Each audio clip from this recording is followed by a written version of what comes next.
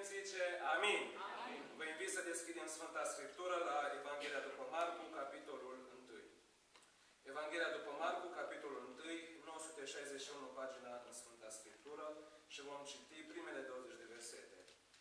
După citirea cuvântului, o să rog pe fratele, pe fratele Cornel Sabău să vină înaintea Domnului, conștienți că avem nevoie de Duhul Sfânt ca să ne vorbească și să ne dea călăuzire în înțelegerea cuvântului Domnului. Amin. Amin. Începutul Evangheliei lui Iisus Hristos, Fiul lui Dumnezeu. După cum este scris în prorocul Isaia. Iată, trimit înaintea ta pe solul meu care îți va pregăti calea. Glasul celui care strigă în pustie, pregătiți calea Domnului, neteziți cărările. A venit Ioan care boteza în pustie, propovăduind botezul pocăinței spre iertarea păcatelor. Tot ținutul iudeii și toți locuitorii Ierusalimului au început să iasă la el și mărturisindu-și păcatele, erau botezați pe el în râul Iordan. Ioan era îmbrăcat cu o haină de păr de cămilă și împrejurul mijlocului era încins cu un brâu de curiac. El se hrănea cu lăcuste și miere sălbatică. Ioan propovăduia și zicea, După mine vine Cel ce este mai puternic decât mine, căruia eu nu sunt vrednic să mă plec să-i dezleg curelele încălțămintei. Eu, da, v-am botezat cu apă, dar El vă va boteza cu Duhul Sfânt. În vremea aceea, a venit Isus din Nazaretul Galilei și a fost botezat de Ioan în Iordan. Și îndată când ieșea Isus din apă, El a văzut cerurile deschise și Duhul pogărându-se peste El ca un porumbel. Și din cerul s-a auzit un glas care zicea, Tu ești Fiul meu prea iubit, în Tine îmi găsesc toată plăcerea mea. Îndată, Duhul a mânat pe Isus în pustie, unde a stat 40 de zile fiind ispitit de satana. Acolo stătea împreună cu fiarele sălbatice și îi slujeau îngerii. După ce a fost închis Ioan, Isus a venit în Galileea și propovăduia Evanghelia lui Dumnezeu. El zicea, s-a împlinit vremea și împărăția lui Dumnezeu este aproape. Pocăiți-vă și credeți în Evanghelie. Pe când trecea Iisus pe lângă Marea Galilei, a văzut pe Simon și pe Andrei, fratele lui Simon, aruncând o mreajă în mare căci erau pescari. Iisus le-a zis, veniți după mine și vă voi face pescari de oameni. Îndată, ei și-au lăsat mrejele și au mers după el. A mers puțin mai departe și a văzut pe Iacob, fiul lui Zebedei, și pe Ioan, fratele lui, care și ei erau într-o corabie și își deceau mrejele. Îndată i-a chemat. Și ei au lăsat pe tatăl lor Zebedei în corabie cu cei ce lucrau pe plată și au mers după el. Amin. Amin. Plecăm capetele și ne rugăm. În aceasta stă, cum stă supremația cuvântului tău, că după 2000 de ani, aceste cuvinte care au fost spuse atunci au putere și în viața noastră astăzi. Laudă. Îți mulțumim frumos, Doamne, pentru prezența noastră în locul acesta. Și te rugăm frumos, Doamne, să dai atenția deosebită pentru cuvântul Tău. Amin. Ne-am rugat, Doamne, pentru relația mai bună între frați, surori. Doamne, Tu prin cuvântul Tău ne înțelepțești la astfel de atitudini. Îți mulțumim frumos pentru cântarea de laudă. Doamne, primește-ne jertfa noastră prin mulțumire. Primește-ne, Doamne, este stămână ca și ne închinăm și cerem binecuvântarea peste noi. Amin. Binecuvântă cuvântul Tău, Doamne, și tot ce facem în locul acesta, nu urmește un alt scop decât slava în numele Sfânt și Mare, pe Iisus Hristos, Mântuitorul nostru și pe Duhul Sfânt, Părătorul Bisericii de acest pământ. Îți mulțumim. Amin. Amin. Vă rog să ocupați locurile. În urmă cu un an de zile, împreună cu corul bisericii și cu fratele Daniel, am fost în vizită la frații noștri din Londra și ne-am bucurat împreună. Am ajuns vinerea seara târziu, în decembrie, pe un frig mai mare, e frig, mi se pare că a și plouat, și fiecare am avut de parcurs un drum lung. Ne-au dus la gazde și a fost un timp binecuvântat. Nu știu pentru ceilalți că am mers mai multe mașini, dar microbuzul cu care am fost eu erau mai mulți. Am început să cântăm cântări din cor și noi deja ne încălzeam vocile. Și gazdele au fost foarte primitoare, am ajuns la gazdă și a doua zi trebuia să ne întâlnim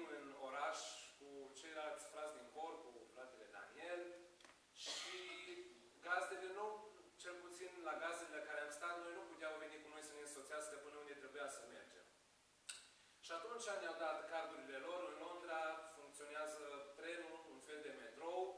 Ai cardul, te duci să-l compostezi, ni le-au plătit și am mers cu trenul. Acum, Londra este împărțită în mici orășele, cartiere. Londra e unul dintre cele mai mari orașe din lume. Și am avut binecuvântarea să stau cu Marius Pustai, care e aici, și cu fratele Nelu Buruian. Vă mărturisesc că am avut cei mai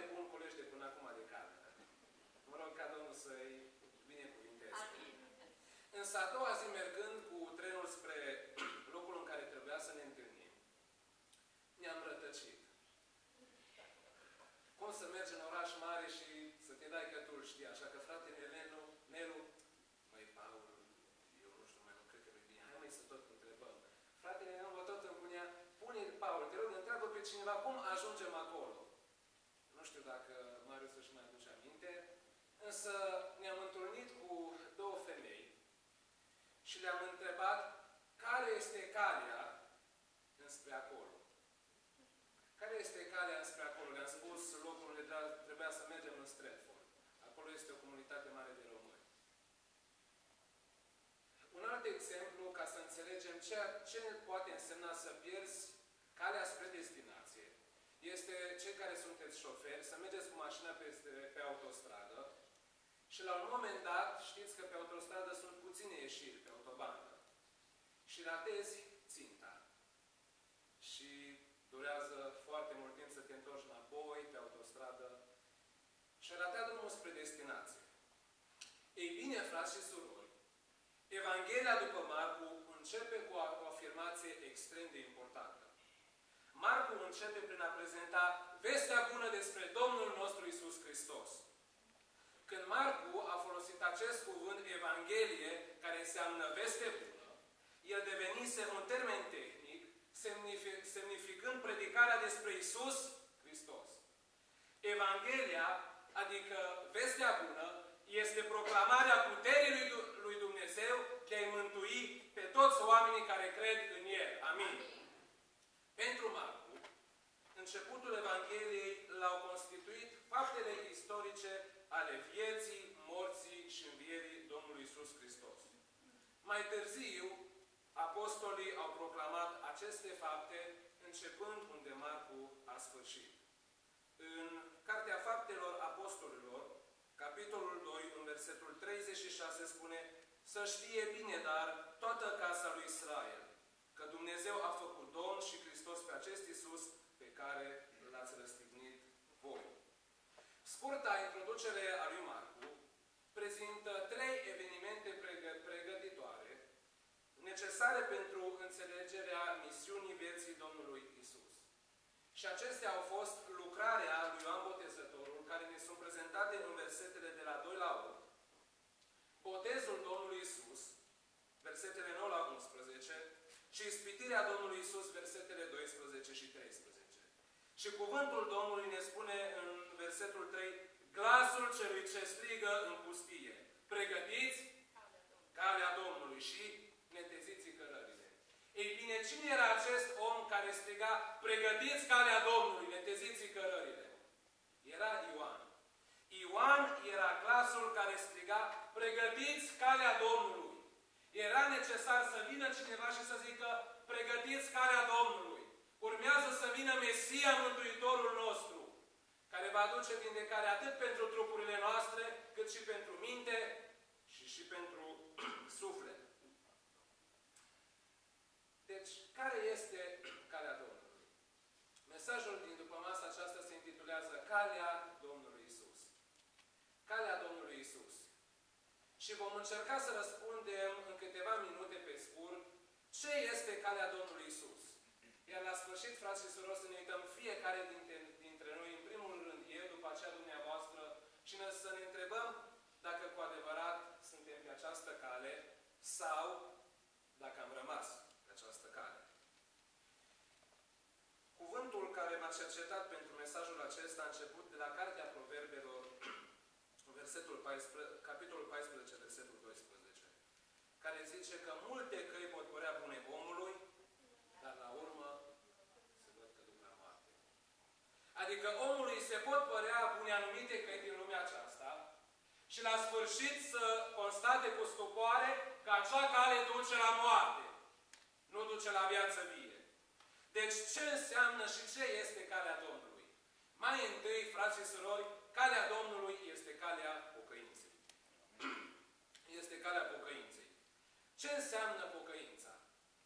Pocăința înseamnă recunoașterea că te-ai dus într-o direcție greșită și că îți pare rău față de ceea ce ai făcut. Pocăința înseamnă să recunoști greșeala pe care ai făcut-o. Tot timpul, pocăința în Noul Testament semnifică să ai o gândire total schimbată. O gândire schimbată atât în minte, în gândire și în comportament.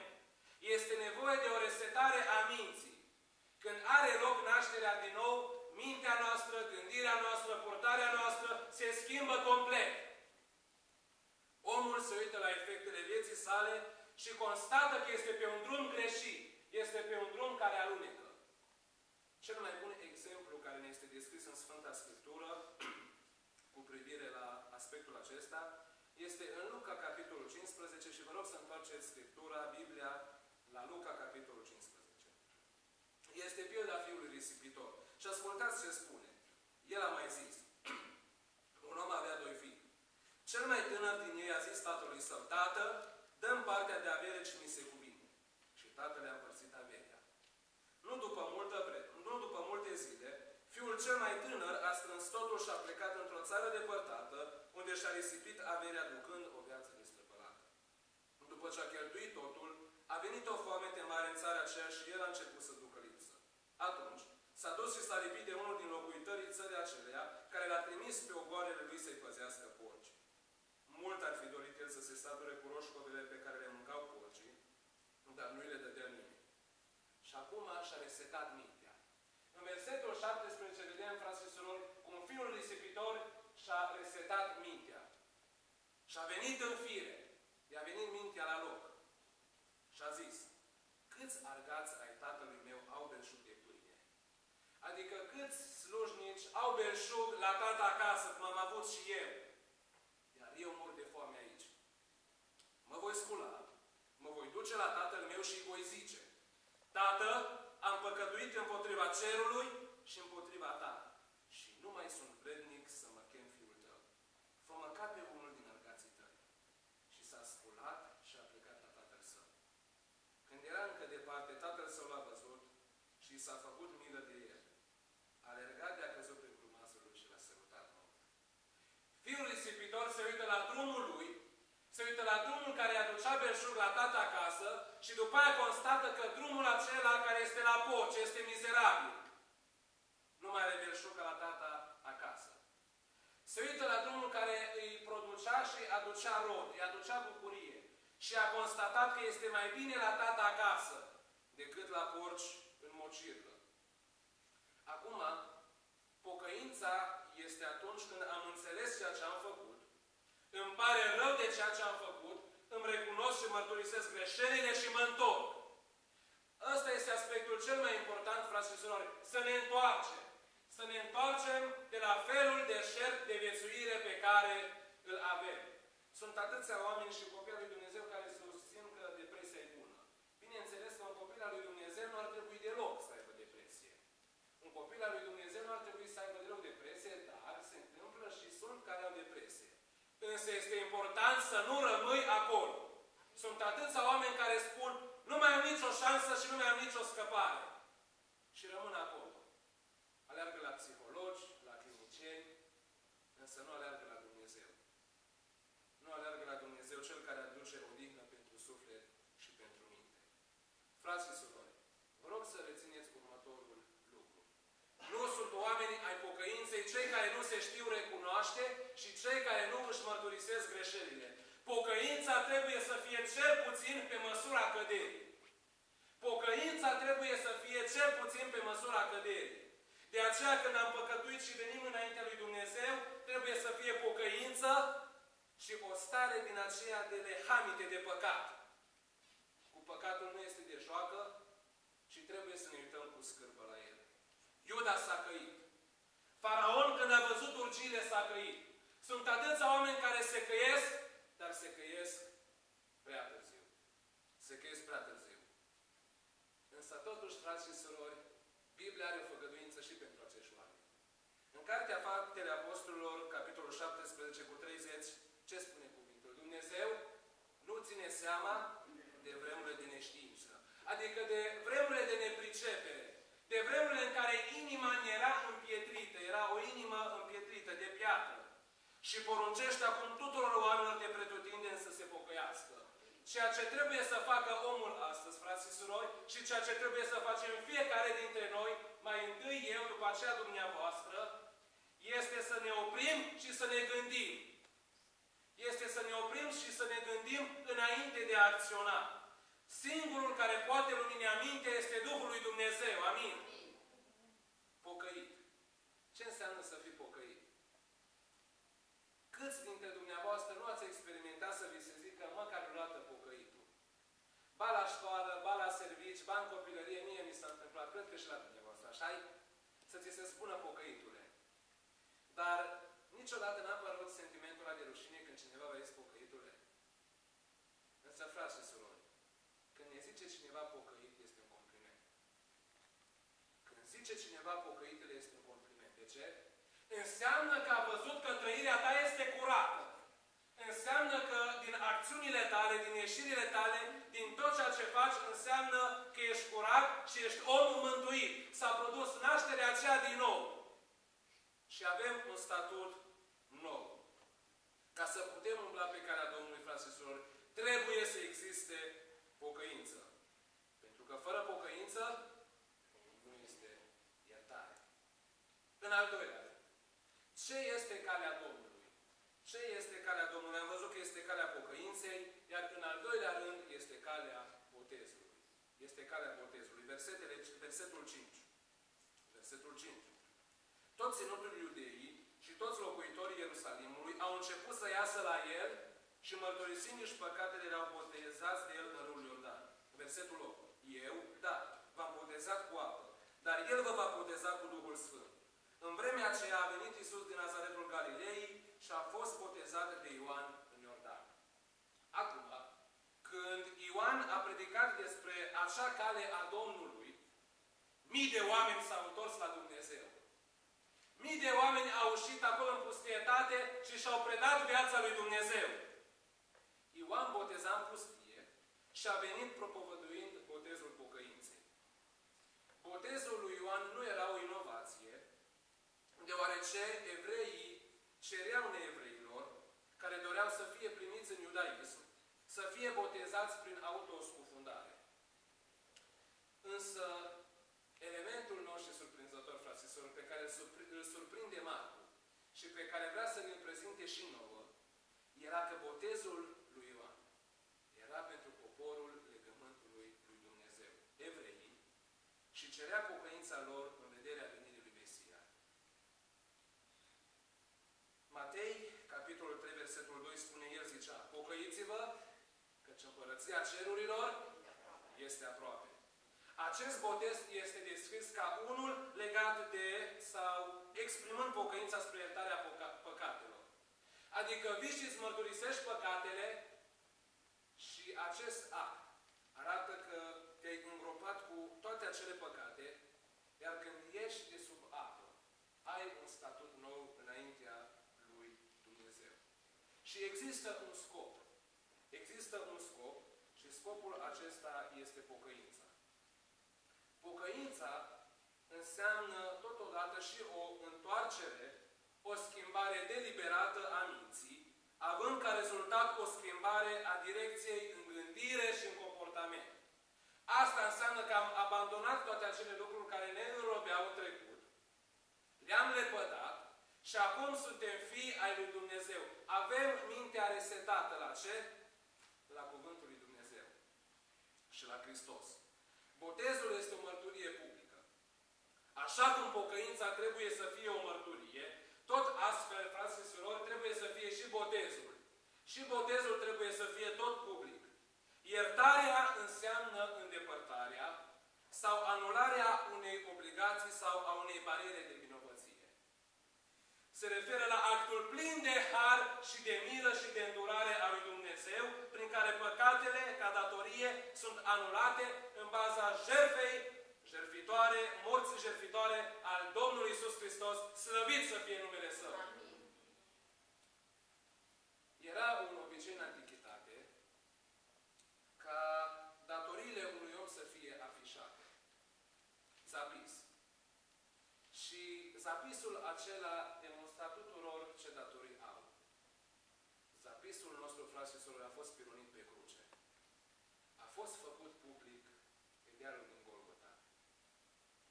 Zapisul nostru, care a fost pironit pe, pe cruce, a fost Domnul nostru Isus Hristos. A murit pentru păcatele mele. A murit pentru păcatele tale. A murit pentru păcatele întregii omeniri. Și acum este viu în vecii vecilor și domnește la dreapta Tatălui, slăvit să fie numele Lui Dumnezeu. Amin. Însă, totodată, dați-mi voie să vă mai prezint o ilustrație. Imaginați-vă că suntem într-o sală de judecată și noi suntem condamnați, noi suntem cei acuzați. Suntem cei acuzați și avem dosarul care ne condamnă în mână. Și în sală este avocatul nostru și este judecătorul. Și intră judecătorul și vine și avocatul și judecătorul începe să asculte. Și vine avocatul spre condamnat, spre cel acuzat, îi ia dosarul și îl însușește și îl asumă și se duce înaintea judecătorului. Acuzații condamnații suntem noi, frați și surori. Domnul Isus este avocatul, iar judecătorul este Tatăl.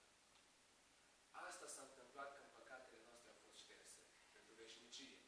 Nu o zi, nu două, nu o săptămână, nu o lună, nu un an, ci pentru veșnicie. Mărit să fie Domnul. Amin.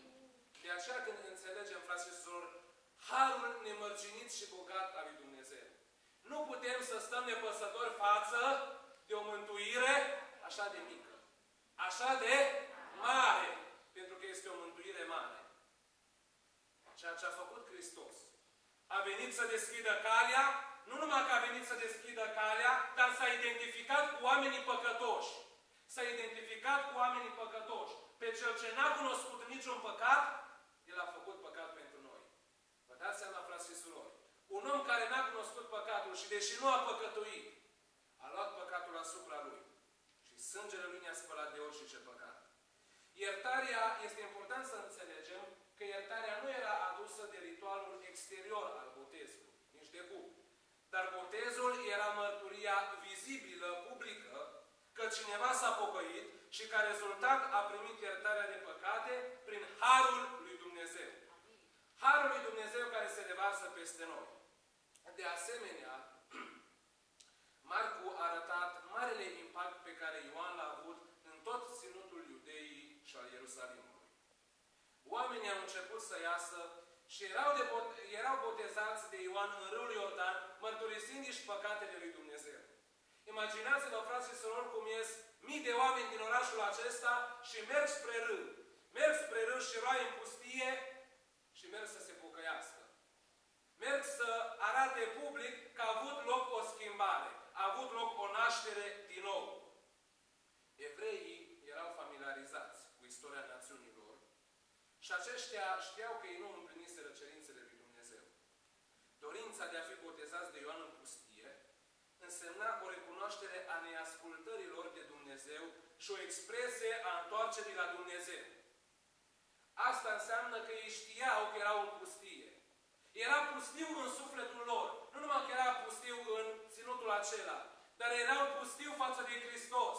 Deci știau că trebuiau să vină Mesia. Și pe parcursul Evangheliei vedem cu fariseii, când vine Domnul Isus, spun, cine este acesta? Care se crede Mesia. Domnul Isus a venit să deschidă calea. Și nu numai că a venit să deschidă calea, frate și sorori, dar ne cheamă pe fiecare dintre noi.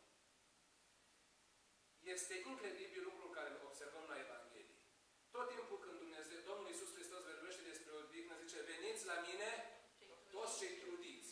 De ce trudiți? Întru, în, trudiți de păcat, întrudiți de toată munca istovitoare a lumii de aici, după lucrurile materiale, fuga după lucrurile materiale. Și eu vă voi da odihnă. Ziua de odihnă este astăzi, frați și surori.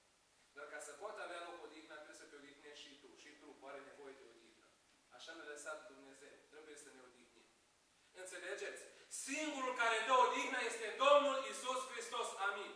Odihna nu ne dă Facebook-ul, nu ne dă alte rețele de socializare, nici ieșirile în parc, în ziua Domnului, nici la munte, ci ziua de odihnă. Se petrece în părtășie cu frații de credință în casa Domnului. Amin. Amin. și ne rugăm ca Domnul să ne cerceteze. Autenticitatea nașterii din nou trebuie să fie publică. Așa cum pocăința este publică. Și întoarcerea noastră trebuie să fie tot publică. În al treilea rând, în ultimul rând, ce mai înseamnă calea Domnului Isus? În ultimul rând, frați și surori, calea Domnului Isus este calea slujirii. Este calea slujirii. După ce a avut loc pocăința și după ce am mărturisit public că a avut loc o schimbare a vieții, trebuie să știm că nu suntem și nu intrăm în șomaj. Nu mergem la șomaj și să spunem, eu de astăzi am intrat în șomaj, că sunt mântuit și nu mai trebuie să fac nimic. Că face Domnul. Mă binecuvintează Domnul, că așa, așa eu mă rog și Domnul îmi dă. Bine ar fi să ne dea minte câteodată. Însă, înțelegeți, frați și surori, când Dumnezeu ne cheamă pe calea Lui și avem o nouă chemare, nu intrăm în șomaj. După ce Domnul Iisus Hristos ne-a mântuit și după ce am mărturisit public acest lucru, avem cel mai mult de lucru, mai mult ca înainte. Dacă atunci lucram cu păcatul greu, istovitor și ne robea, acum trebuie să lucrăm cu Evanghelia și cu oamenii. Să-i chemăm la pocăință. Am auzit oameni care spuneau, Doamne, mai dă-ne oameni ca Ioan, care să zică pregătesc calea Domnului pustie. Știți cine sunt Ioanii de astăzi? Cine sunt? Copiii lui Dumnezeu. Noi trebuie să fim cei care trâmbițăm în cetate și să spunem, pregătim calea Domnului. Vine Domnul. În curând. Și se arată pe nor de slavă. Însă după ce a avut loc pocăința și după ce a mărturisit public că a avut loc o schimbare a vieții, este important să știm, frăsisorul, acest lucru. Dumnezeu ne-a mântuit ca să ne dea o nouă slujbă. Dumnezeu ne-a întors spre El 180 de grade ca să ne dea o nouă slujbă. Și nu numai că ne-a dat o nouă slujbă, ci ne-a dat o nouă chemare, binecuvântat și slăvit să fie numele Lui. Amin. Amin. Toate pasiunile vechi vor fi puse pe calea cea nouă. Bineînțeles că băutura nu mai pui pe calea cea nouă. Fumatul nu mai pui pe calea cea nouă, dar înțelegeți ce vreau să zic. Toate pasiunile vechi vor fi puse pe calea cea nouă. Noi trebuie să fim frații surori și vă rog să rețineți lucrul acesta și în primul rând mi-l spun mie. După aceea dumneavoastră și dacă vreți să luați, Domnul să vă binecuvinteze. Noi trebuie să fim îndrumătoare ale oamenilor din lume ca să vină la pocăință. Noi suntem indicatoarele oamenilor din lume. Dacă nu noi, cine, frați și surori? Am mai spus-o asta, asta și în alte biserici. Din păcate, frați și surori, bătălia se dă în interiorul bisericii, nu în afară, cu frații de credință. Și lucrul acesta este deosebit de grav. Înțelegem că Domnul ne va trage la răspundere pentru asta. Bătăliile se dau în interiorul bisericii. Nu se mai dau în afară. Care e problema? Trebuie să ne uităm fiecare la viața noastră. Și să vedem ce trebuie ars. Ce trebuie îndepărtat. Ce practică nu este bună în viața noastră. Și cu păcatul, fraților, nu este de joacă. Toate pasiunile vechi și toate, tot, toate lucrurile care ne robeau trebuie înlăturate. De aceea este important să înțelegem că bătălia se dă în afară, nu în interior. Și de aceea, știți care sunt cele mai mari resurse ale bisericii în ziua de astăzi? Frați și surori, noi avem acces la cele mai mari resurse din univers. Biserica are acces la cele mai mari resurse din univers. Știți care sunt acelea? Rugăciunea. Sunt atâția care vor să se înalțe, să îi privească nu cineva, dar genunchii nu mai punem jos. Când a fost ultima dată, frați și surori, când am plâns plânsul pocăinței, când am venit plângând înaintea lui Dumnezeu și a zis, Doamne, iartă-mă! Când venim la masa Domnului, când cuvântul spune fiecare, dar să se cerceteze pe sine însuși, asta înseamnă că nu mă uit la fratele și spun, uite, vezi cum e cina? Să mai și contez pe celălalt. Nu. Și trebuie să mă uit în inima mea adânc. Să cobor acolo în interiorul inimii și să spun, Doamne, îți cer iertare pentru toate păcatele, pentru tot ce am făcut în săptămâna care a trecut, poate chiar și astăzi. Dar dacă nu ne mărturisim păcatele, fra- frați și soră, îl facem mincinos pe Dumnezeu. Și ce, mă, ce o sândă este mai mare decât să-L faci mincinos pe Dumnezeu? Însă chemarea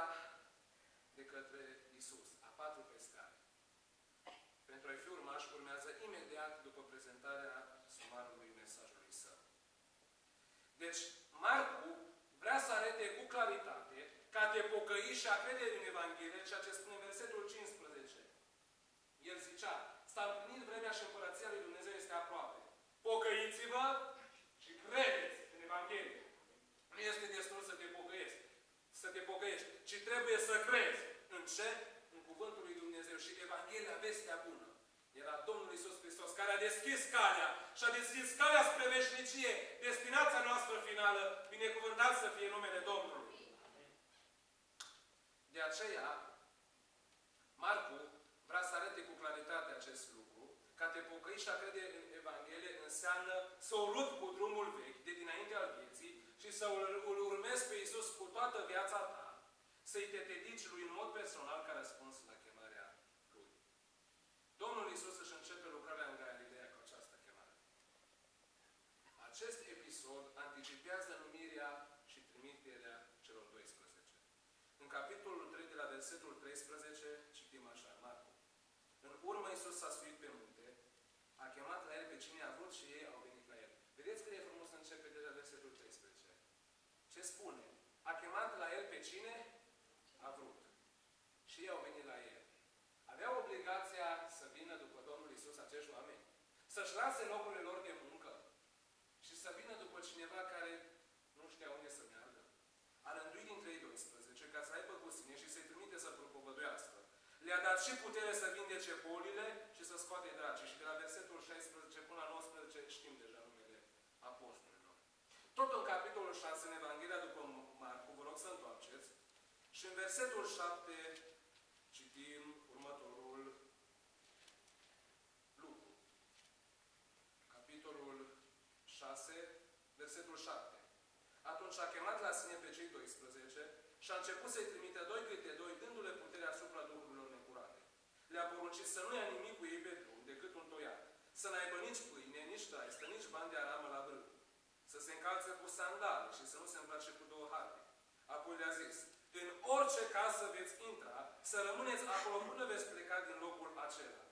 Și dacă în vreun loc nu vă vor primi și nu vă vor asculta, să plecați de acolo și să scuturați, să scuturați îndată praful de pe picioarele voastre, ca mărturie pentru ei. Adevărat vă spun că în ziua judecății va fi mai ușor pentru pământul Sodomei și Gomorei decât pentru cetatea aceea. Ucenicii au plecat și ce au făcut? Au propovăduit pocăința. Au propovăduit Evanghelia. Au propovăduit vestea bună. Domnul Isus Hristos a venit să deschidă o cale.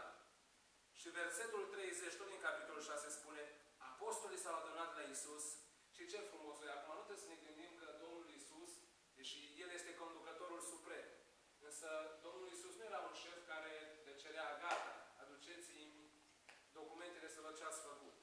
Însă în versetul 30, apostolii s-au adunat la Isus și au spus tot ce făcuseră și tot ce învățaseră pe oameni. Știți de unde este preluat lucrul acesta? De la rabini. Când rabinii învățau pe elevi, elevii învățau ceea ce învățau rabinii, iar după aceea elevii se întorceau la rabini să le arate, uite, că lucrul care m-ați învățat a dat rod. A dat rod.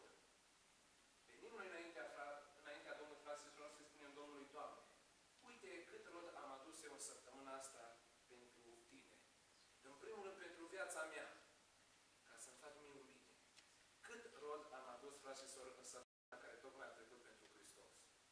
De câte ori am deschis Evanghelia? De câte ori ne-am rugat pentru cineva? Pentru cei nemântuiți din casele noastre, pentru Biserica Biruința. Venim, veniți obosiți de la servici, de la activitățile de zi cu zi cu munca. Și de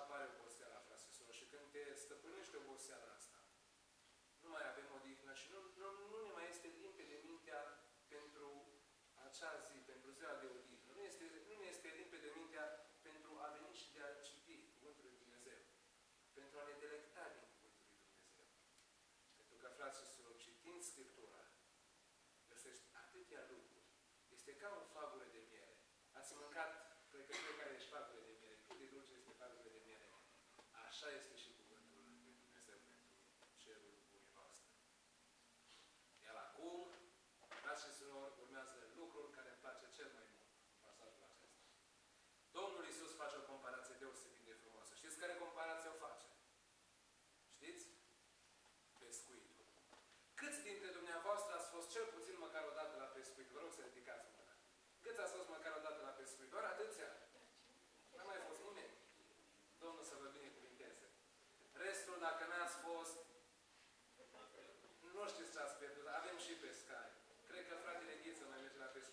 Domnul să-l binecuvinteze.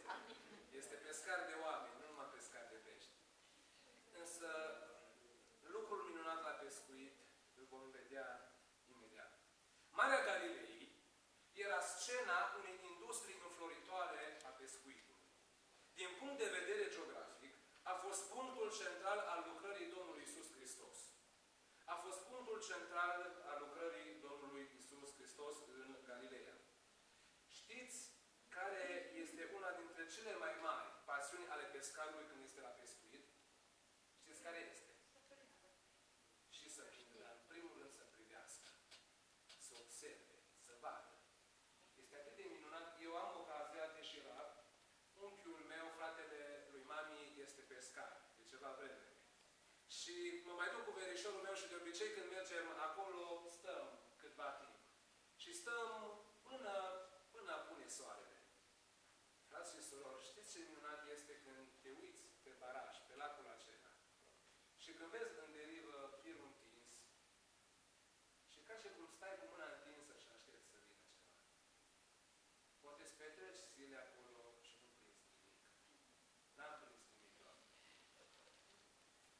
N-ai prins nimic ce ești istovit și te, te frământă chestia aceasta. Frații și sorți, bucuria pescuitului o mai vedem doar în Evanghelie. Bucuria pescuitului o mai vedem doar în Evanghelie. Știți ce zice pescarul înainte să plece?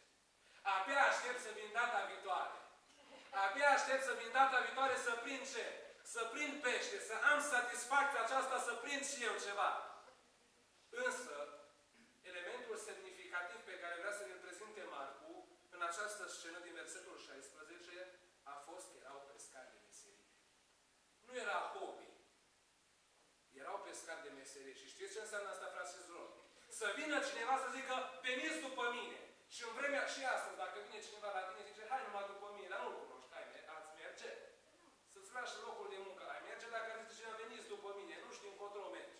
Să-ți lași tu locul de muncă și să mergi după cineva de care parcă ai auzit că este cineva de pe, despre care a propovăduit Ioan în pustie.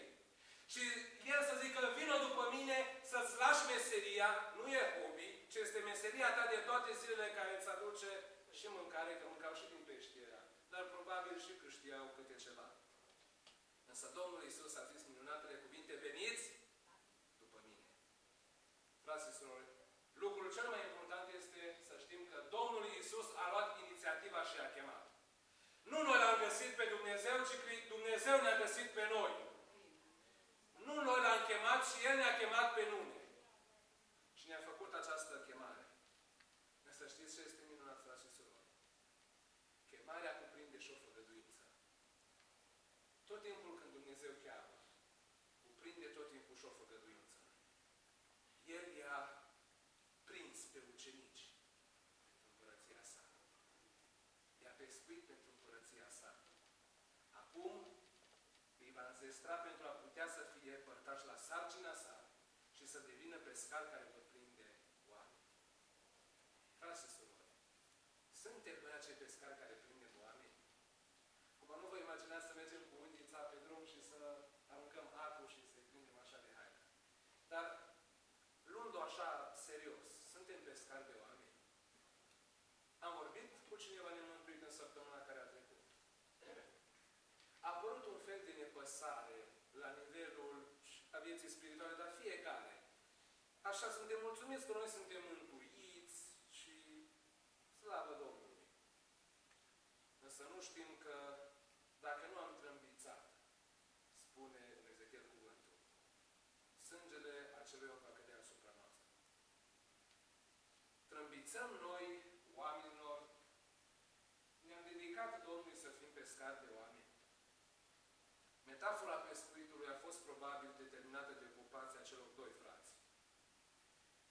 versetul 18 spune, în versetul 18, îndată ei și-au lăsat mrejele și ce au făcut? Au mers după el. Adică și-au lăsat vechea lor chemare și au mers după el. Când ai chemare și când ai chemare din partea Dumnezeului viu, această chemare te dezleagă de trecut. Vă rog să rețineți, frați și surori, când ai chemare din partea lui Dumnezeu, acea chemare te, te dezleagă complet 100% de trecut. 2 pentru 2 cu 22 spune, câinile s-a întors la ce vărsase și scroafa spălată s-a întors să se tăvălească iarăși în morcirlă. Adică omul se duce înapoi în morcirla păcatului și se scaldă în păcat. Sau trebuie să o rupem cu păgânătatea, cu poftele lumești, cu păcatul. Să o rupem pentru veșnicie. Însă Hristos i-a chemat. Și i-a chemat la o nouă slujbă. Și îndată și-a lăsat regele. Însă evenimentele ulterioare, versetele 29 până la 31, când aceștia merg la soacra lui Petru, care era cuprinsă de figur, arată că răspunsul lor nu a însemnat, am auzit unii care au susținut că, au susținut că atunci când Domnul Iisus i-a chemat, ei și-au abandonat casele și familiile. Greșit. Total neadevărat. Ei nu și-au renegat casele și familiile. Ceea ce au făcut ei a fost că s-au supus Domnului Iisus pe deplin. S-au supus Domnului Iisus pe deplin. Capitolul 10 din Marcu, versetul 28.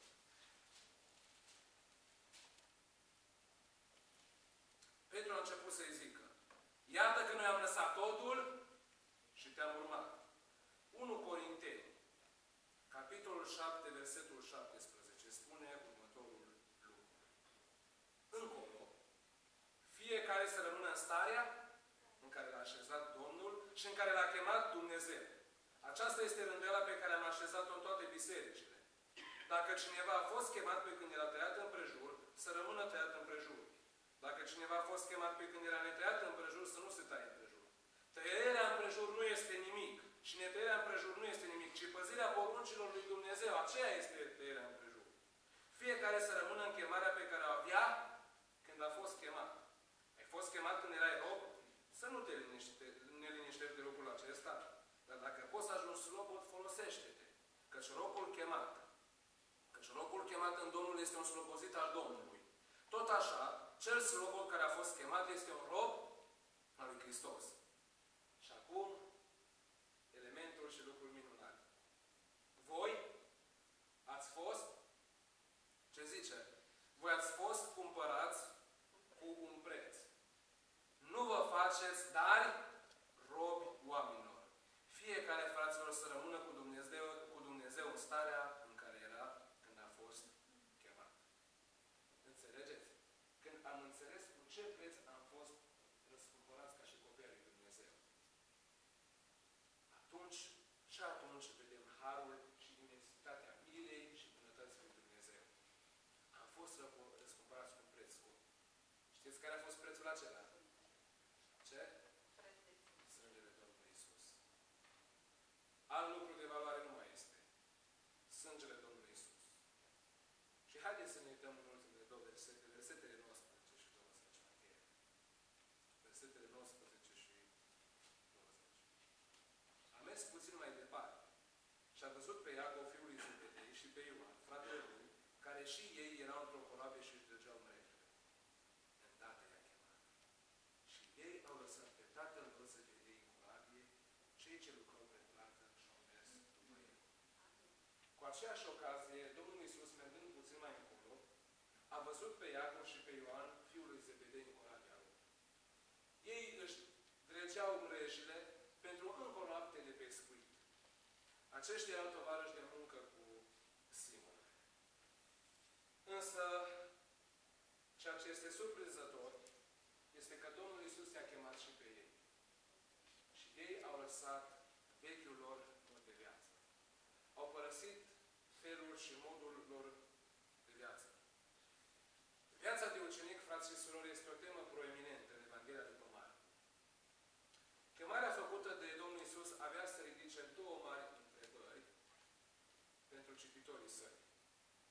Și acestea sunt următoarele.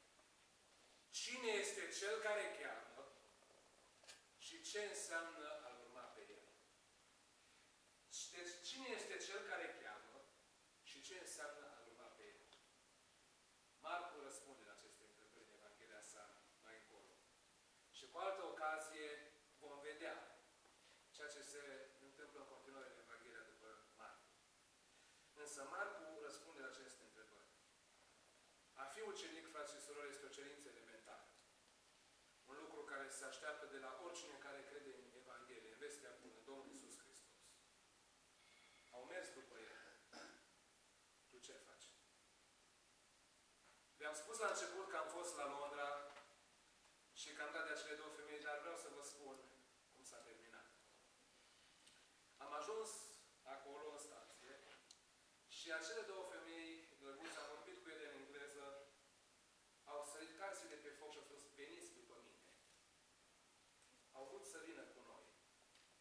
Au vrut să vină cu noi până în Stratford, la stația în care trebuia să ajungem. A zis, veniți după mine.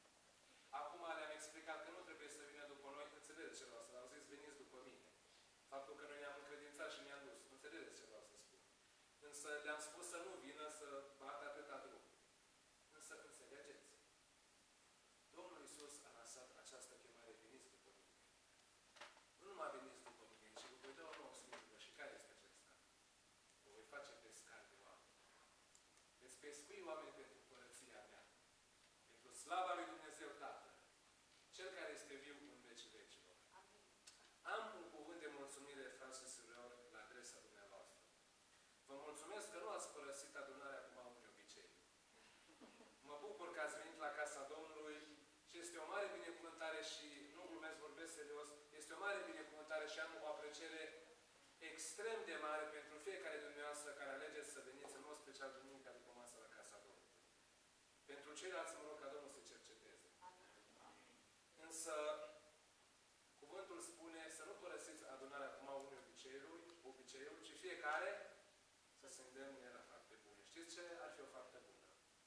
Să ne plecăm capetele în rugăciune și cu câțiva frați și surori să venim în rugăciune și să spunem poate am ieșit de pe calea Domnului Isus. Poate ne-am îndepărtat de pe calea aceea care merge spre destinația noastră eternă, spre cer, spre veșnicie. Poate avem în casele noastre, poate am neglijat, poate am neglijat pe cei de lângă noi. Poate am fost prea atenți la foloasele noastre și nu la foloasele celorlalți. Frați și surori, este timpul ca oricând să ne îndreptăm mintea, cugetul, tot trupul spre Dumnezeu. Și să facem ceea ce spune Scriptura.